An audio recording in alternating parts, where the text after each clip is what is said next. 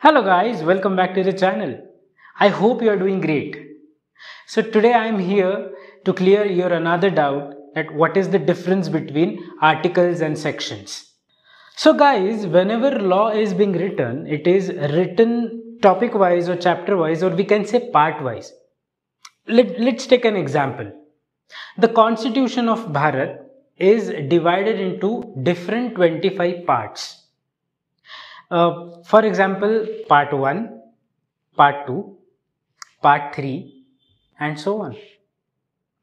Now, these parts are written in different paragraphs and these paragraphs are numbered and which are known as articles. Uh, you might have heard article 1, article 2, article 3 and so on. Okay, let's let's try to understand this in simpler words. Our constitution is most important and supreme law. Any law which is constituted under the territory of Bharat should be constituted or should be constructed with the baseline of the constitution. In nutshell, we can say that no law can override the supremacy of the constitution. So guys, the provisions which are given in the constitutions are ultimately called as articles and the other laws called as sections.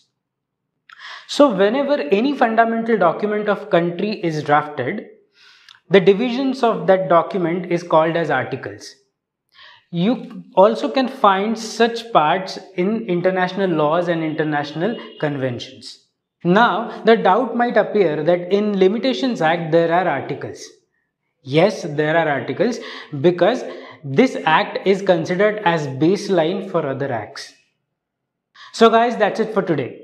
I hope the confusion is clear that what is article and what are the sections. So meanwhile, please like, share and subscribe to this channel because your subscription definitely help us to grow. Till the time, thank you.